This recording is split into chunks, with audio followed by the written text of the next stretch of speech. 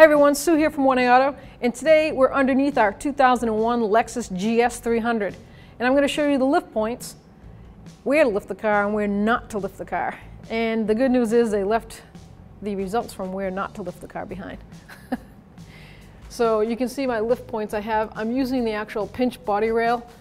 It's not a frame, but it's part of the whole body. It's, it's a pinch weld. Then you have your lip, your outer lip which is a lot of places where people put the jacks in the jack stands or lift the car up with the car lift. And it works on most cars, but on this Lexus it does not. And you can see someone has done all four lift points on the pinch rail, is what they call it, and they have pushed the car up.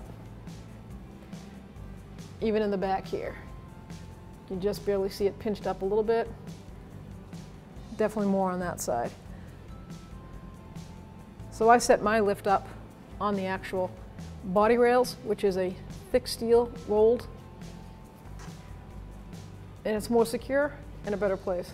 Looks like someone even put a floor jack here. You can see this two pinch right here. This is the actual floor. It's not the, it's not the pinch rail, even though it looks like it is. I mean, it it's not the body rail.